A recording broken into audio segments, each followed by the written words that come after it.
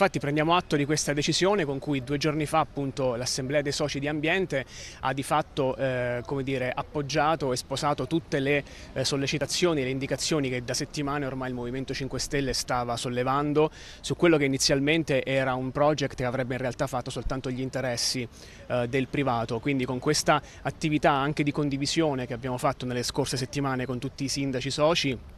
siamo riusciti dire, a ricollocare questo progetto più vicino agli interessi pubblici piuttosto che a quelli del privato come inizialmente sarebbe stato. L'obiettivo era quello alla fine di far sì che ci fosse un impatto minore eh, sull'utilizzatore finale, ovvero il cittadino. Assolutamente sì, infatti le due questioni eh, principali rispetto alle tante sollevate eh, che abbiamo denunciato più volte erano appunto il fatto di inserire anche nel piano economico i 15 milioni di mutuo con la BEI che il Comune di Pescara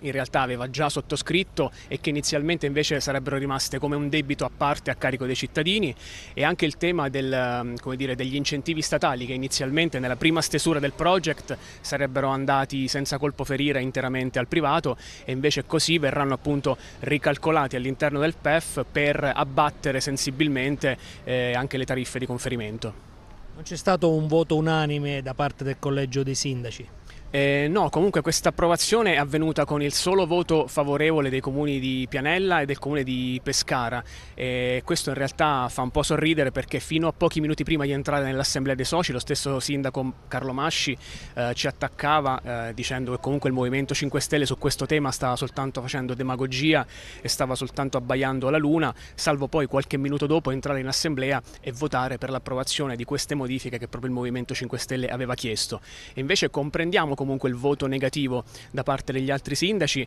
Eh, soprattutto è un voto nei confronti del modus operandi di Ambiente SPA che chiaramente è stato molto confusionario su questo tema. Sono sindaci che comunque si sono visti recapitare queste modifiche soltanto sul tavolo dell'assemblea stessa, quindi senza poterle concordare, condividere e anche metabolizzare, per cui eh, chiaramente è un voto contrario anche nei confronti di come la vicenda evidentemente è stata gestita da chi doveva, doveva invece garantirne la massima trasparenza.